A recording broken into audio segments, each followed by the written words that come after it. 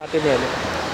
तर शेवटी नऊ मंत्री महोदयाने शपथ घेतली होती तर त्यांना खाते द्यायचेच होते.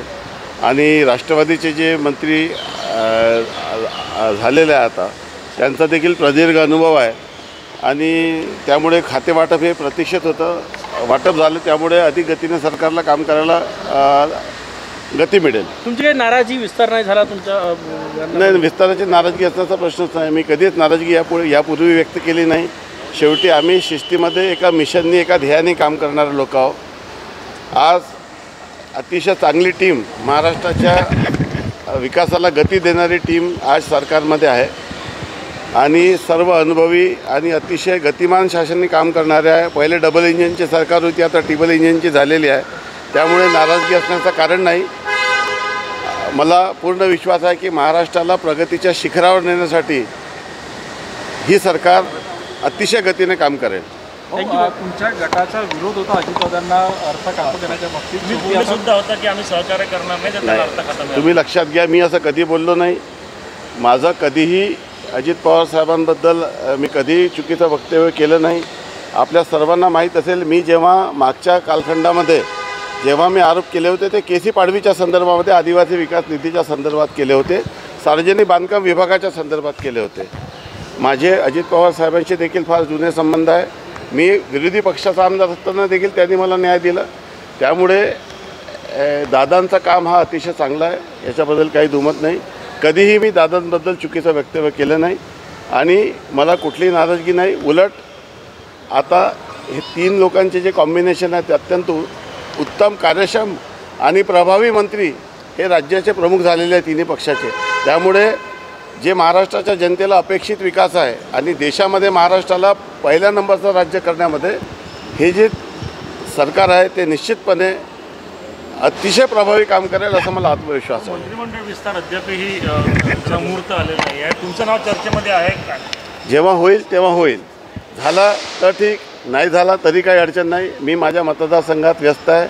माझ्या मतदारसंघाच्या ज्या जनतेने मला आमदार केलं त्यांची सेवा अतिशय चांगल्या पद्धतीने करण्यामध्ये मी व्यस्त आहे. मला माननीय मुख्यमंत्री आणि उपमुख्यमंत्र्यांनी राज्याची अनेक कामाची जबाबदारी माझ्यावर दिलेली आहे. अनेक विषयावर माझी कमिटी केली आहे. अनेक सरकारचे जे धोरण आहे ते मी करत आहे. लवकरच मत्स्याचं धोरण करत आहे. पानन रस्त्याची नवीन योजना मी या ठिकाणी करत आहे. महाराष्ट्राच्या सस्टेनेबल डेव्हलपमेंटसाठी जे सतरा ध्येय आणि दोनशे सदतीस इंडिकेटर आहे त्याच्यावर माझी कमिटी केलेली आहे. असे अनेक काम माझ्यावर दिलेले आहे. शेवटी मंत्री होऊन तेच काम करायचं आहे आणि आमदार होऊन ते तेच काम करत आहे. महाराष्ट्राच्या इतर कुठल्याही आमदारापेक्षा माझ्यावर दिलेली जबाबदारी मोठी आहे. त्यामुळे मी त्या जबाबदारीचं निर्वहन करण्यामध्ये सध्या व्यस्त आहे आणि अतिशय महत्त्वाचे काम माझ्याकडे दिल्यामुळे ते सर्व काम मी भविष्यात करणार आहे. होईल उद्या होईल उद्या नाही होईल परवा होईल त्याच्यात काय आहे?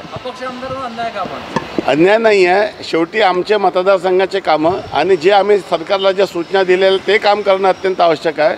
आणि मला अतिशय आनंद आहे की ज्या ज्या विधायक सूचना मी सरकारला केलेल्या आहे जे जे माझे स्वप्न होते अनेक वर्षापासून पाहिलेले ते सर्व स्वप्न मला आता पूर्ण करता येत आहे. पहिल्यांदा महाराष्ट्राच्या विधानसभेमध्ये पानन रस्त्याला शंभर कोटी रुपयाचं काम मला दहा शंभर किलोमीटर रस्ते मला करता आले.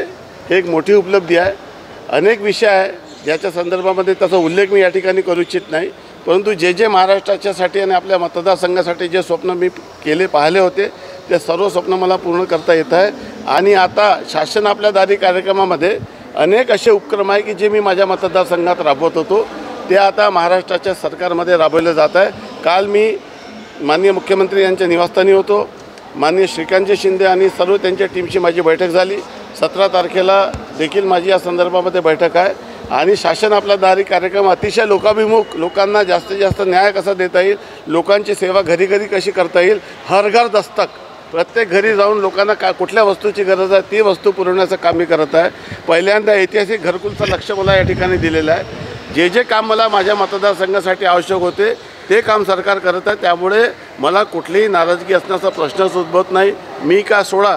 कुठलाही आमदार नाराजगी नाही. शेवटी प्रत्येकाची कमिटमेंट त्याच्या मतदारसंघाची असते. मतदारसंघाचे कामं महत्त्वाचे असतात. ते या सरकारमध्ये होतात. त्यामुळे सर्व लोक हॅप्पी आहे हो धन्यवाद.